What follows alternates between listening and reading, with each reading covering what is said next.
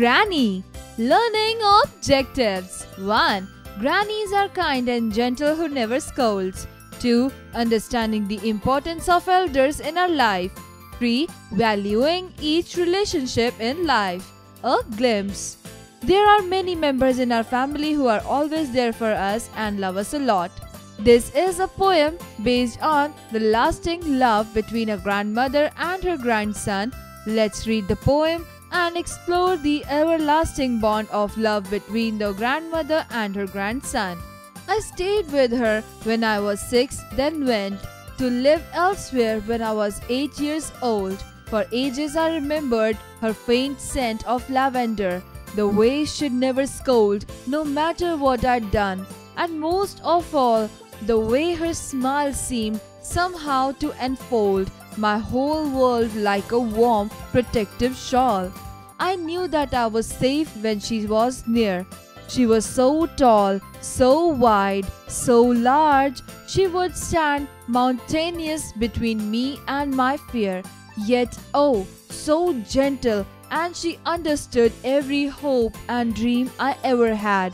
She praised me lavishly when I was good, but never punished me when I was bad. Years later, war broke out and I became a soldier and was wounded while in France. Back home in hospital, still very lame, I realized suddenly that circumstance had me close to that small town where she was living still. And so I seized the chance to write and ask if she could visit me. She came, and I still vividly recall the shock that I received when she appeared that dark cold day. Huge Granny was so small, a tiny frail old lady. It was weird. She hobbled through the ward to where I lay and drew quite close and hesitating peered and then she smiled and love lit up the day. Fine meaning lavender or fragrant. Blush purple flower used in making perfumes vividly, strongly, really. Hobbled, walked in an awkward way due to injury or pain, lavishly, generously. Circumstances, a set of events, seized, took opportunity, enfold, surround, peered, looked with concentration or difficulty. Exercise time. Answer the following questions. 1. What did the poet remember about her grandmother? Answer He remembers his granny as a kind, gentle creature who never scolded, and her smile was so warm that it seemed to wrap like a shawl around him. 2. How did she used to do to make the poet happy?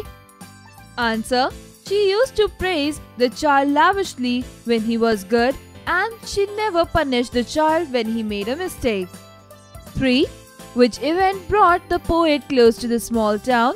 Answer After so many years, when he became a soldier, he injured during the French Revolution and admitted in the hospital. He fell very low and he was still very lame. This incident brought the poet to the small town. 4. How did his granny react to seeing him after such a long years?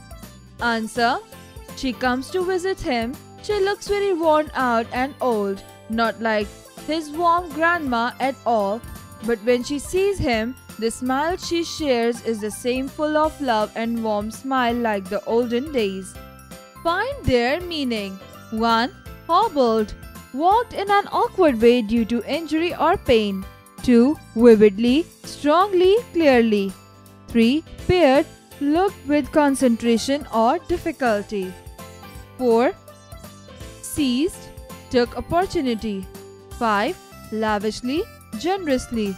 Fill in the blanks with the correct words. 1. The poem is based on everlasting love between grandmother and grandson.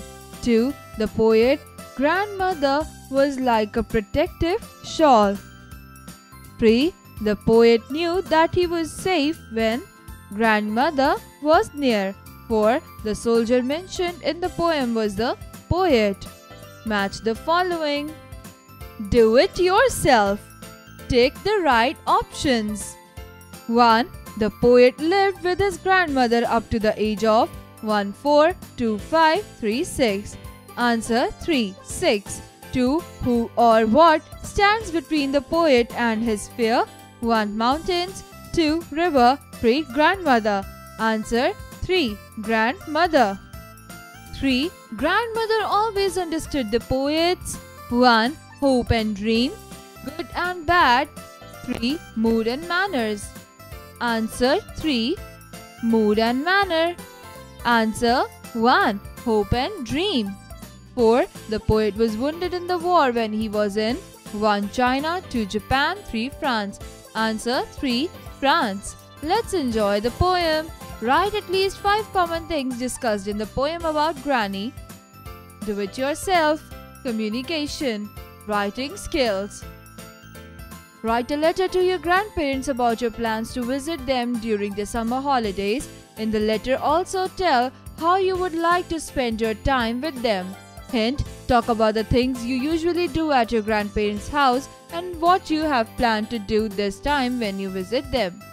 XYZ House number XXX Road City Date Dear Grandpa and Granny, hope you are fine. Yours lovingly, grandson, granddaughter. Reading skills Read the lines from the poem and answer the following questions. She was so tall, so wide, so large, she would stand mountainous between me and my fear. A. Who is she in these lines? Answer. She is referring to the grandmother of the poet. B. What was the relationship between the poet and the lady? The poet and the lady had a relationship of grandmother and grandson. C. Give two synonyms for the word mountainous. Tough, alpine.